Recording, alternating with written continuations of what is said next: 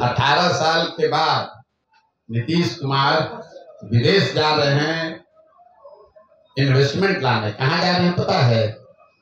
Scotland Scotland में कौन बड़ा भारी निवेशक बैठा हुआ है, ये हमको नहीं मालूम है। कुछ दिन पहले उनके डिप्टी थे तेजस्वी यादव तो जापान गए थे।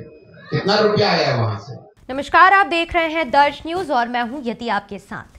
बिहार के सहरसा में जन सुराज के सूत्रधार यानी प्रशांत किशोर, जिन्हें हम पीके कह के बुलाते हैं, इन दिनों वर्तमान व्यवस्था, परिवर्तन के अभियान के तहत विभिन्न प्रखंडों में पदयात्रा कर रहे हैं। इसी कड़ी में बता दें कि उन्होंने सीएम नीतीश कुमार पर एक बार फिर से हमला बोला है। साथ ही उन्होंने तेजस्वी यादव को भी आड़े हाथ लिया है। जी हाँ, बता दें कि प्रशांत किशोर, जो कि अपने बेपाकी से बोलने वाले अंदाज के लिए जाने जाते हैं, उन्होंने सीएम नीतीश कुमार पर तंज कसा है। दरअसल उन्होंने सीएम नीतीश कुमार के विदेश दौरे पर जमकर हमला बोला है। तंज कसते हुए उन्होंने कहा है कि 18 साल के बाद मुख्यमंत्री नीतीश कुमार विदेश दौरा पर जा रहे हैं और वो भी इन्वेस्टमेंट लाने के लिए। वो स्कॉटलैंड जा रहे हैं। स्कॉटलैंड में जैसे कोई बड़ा निवेशक है जो उन्हें यहाँ इन्वेस्टमेंट दे देगा। उन्होंने ये भी कहा कि कुछ दिन पहले यहाँ के जो बिहार के पूर्व उप मुख्यमंत्री थे, यानी कि तेजस्वी यादव, वो भी जापान गए थे। वहाँ से कितने पैसे वो लेकर आए, कितने का इन्वेस्टमेंट जापान से उनको मिला? तो साफ़ तौर पर कुल मिलाकर पीके जो है, वो मुख्यमंत्री नीतीश कुमार और तेजस्वी यादव पर हमलावर होते दिखाई दिए। कोई पहली बार नहीं होगा जब उन्होंने इस तरीके की बातें कही हैं।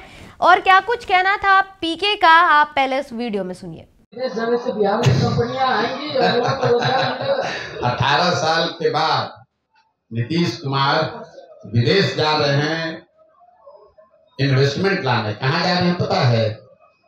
स्कॉटलैंड स्कॉटलैंड में कौन बड़ा भारी निवेशक बैठा हुआ है, ये हमको नहीं मालूम है।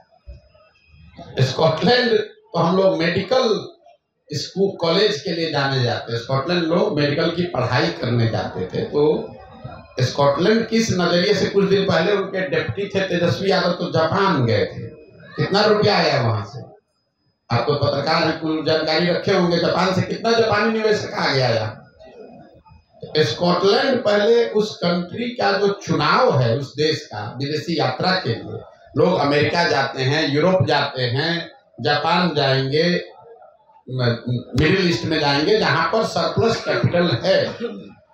स्कॉटलैंड में कौन सा सरप्लस कैपिटल है जहाँ से क्या पैसा लाना चाहते हो? तो खुद ही वो परेशान है, अपना वहाँ सबसे ज़्यादा बेरोजगारी है। दो हज़ार, अब यहाँ ये बेमानी बात है, सहरसा में बैठ के।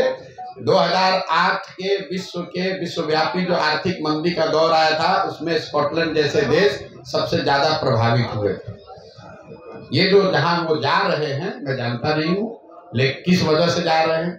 लेकिन वो जगह में चिकित्सा के क्षेत्र के लिए जाना जाता है, न कि इन्वेस्टमेंट के लिए। बाकी इंटरप्रिटेशन आप खुद से लगा लीजिए कि क्यों जा रहे हैं। तो सुना आपने प्रशांत किशोर ने क्या कुछ बातें कही है? किस तरीके से उन्होंने मुख्यमंत्री नीतीश कुमार और बिहार के पूर्व उप मुख्यमंत्री तेजस्वी यादव पर हमला बोला?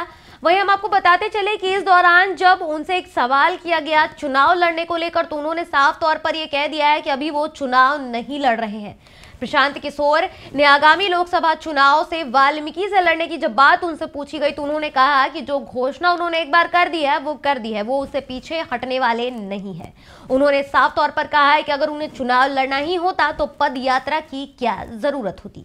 अभी के लिए इस खबर में इतना ही। दर्श न्यूज़ पर खबरों का सिलसिला जारी आप देखते रहे दर्श न्यूज़। धन्यवाद।